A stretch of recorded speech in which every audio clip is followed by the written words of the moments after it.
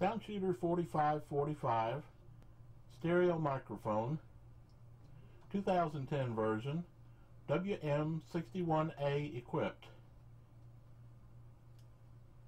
Welcome ladies and gentlemen to the Soundshooter video. Right here we see the microphone head part with windscreen. Okay, we've got the bottom half of the chassis. I'm not going to show the Panasonic mic elements just yet. If I have time I will show them at the end of the video. Okay, here we have the circuit board, obviously. Built on perf board, so this is a bit of perf board piracy here. Okay. Video's not real good. We'll go through here. Let's see what I want to do. Okay, we'll go through it. At the front end we have we have a pair 2.2K resistors that supplies the DC operating bias for the microphone capsules. Okay, right here we have the diodes. These are forward bias, three uh, 1N914 diodes used to establish a voltage of approximately 2 volts for microphone power. Okay, after going through the 2.2K resistor, at the actual point of the microphone wire we have about 0.95 volt. That's all it takes to run the Electret mics. First stage, an LM833, one half of it used for the right channel, one half used for the left channel. Likewise, we have second IC, another LM833, and the third IC is an LM364, no 368, and it's used as the ALC amplifier. Go through and, and uh, give a little more uh, background on the function.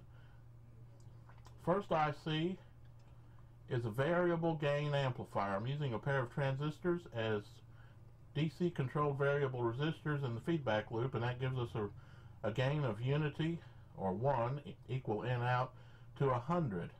That allows me to adjust the sensitivity for different types of operation because I'm going to try to get this thing to do everything from a human voice at 30 feet to to uh, a good good loud volume, say church service or even a quiet rock concert. Yeah, quiet rock concert, that's a good one.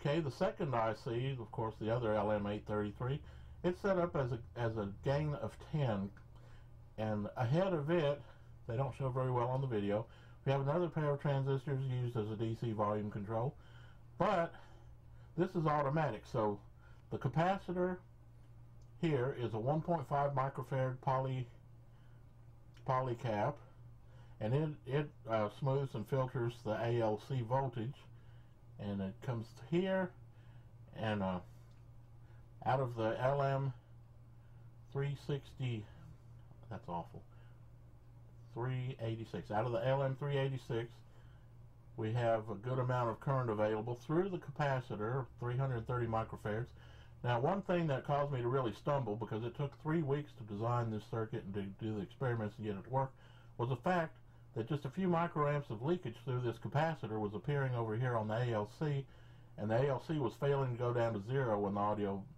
uh, ambient audio level was low. So what I had to do was I had to take a 100 ohm resistor and go from the load side of the output coupling cap to ground and that bleeds off the leakage.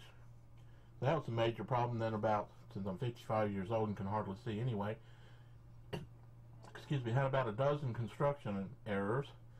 And uh, of course on the bottom of the perf board it's horrible. Everything's real close together and hard to see. Uh, let's see we have a pot here. This adjusts the input level to the ALC amp and therefore adjusts the regulating point or the output level of the unit. And this is is the sensitivity control for the LED on the back panel let's see if I can be brave and get a shot of this peak indicator working Okay, let's see. This. Okay, I think I can get it. Yeah, we can get it. Now we turn off the bench lights. One, two, three, four. One, two, three, four. There's the peak indicator. And uh, to have a manual gain control on the back, and that of course adjusts the first amplifier gain anywhere from unity to 100 times voltage gain, that allows me to set the gain just high enough to take the peaks into the ALC range and yet not overload the unit. Unit turned out to be pretty resistant to overload anyway. So I've got a delightfully good sound quality. The Panasonic WM61A mic cartridges or mic capsules are actually measurement grade. They're typically plus or minus 3 dB from 20 hertz to over 20 kilohertz and uh, the gain uniformity between units is about 3 dB.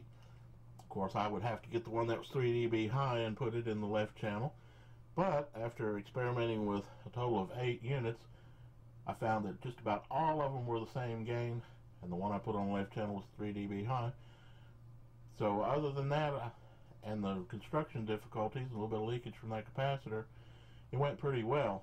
Eventually I document it so I can build more and maybe even show others how to build it. Sounds beautiful though, I love it. And it's actually in operation right now. This is it. So let's demonstrate here.